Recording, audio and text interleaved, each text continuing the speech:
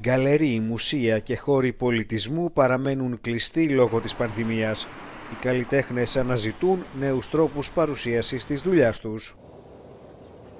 Στο Βερολίνο, οκτώ δημιουργοί και ένα περιοδικό μόδας πραγματοποιούν έκθεση επαυξημένης πραγματικότητας, δηλαδή μεταφέρουν την τέχνη στο smartphone των πολιτών.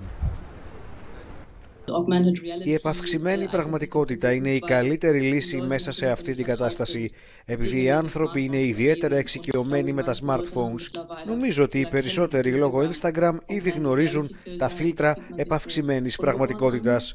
Όπως όταν βάζεις τα αυτιά τους σκύλους στο πρόσωπό σου. Αυτό κάνουμε και εμείς. Η καλλιτέχνης Ρουόχαν Γουάνγκ εστιάζει στην αλληλεπίδραση. Παρουσιάζω την δουλειά μου και όλοι έχουν πρόσβαση, είτε είναι στο σπίτι, είτε στο γραφείο, είτε στο δρόμο.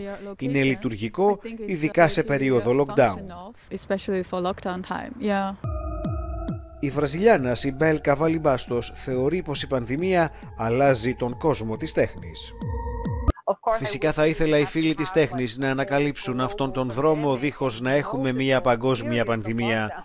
Όμως προέκυψε μια ανάγκη και τώρα οι άνθρωποι του πολιτισμού γνωρίζουν και χρησιμοποιούν ένα καινούριο εργαλείο και τελικά μια καινούρια γλώσσα.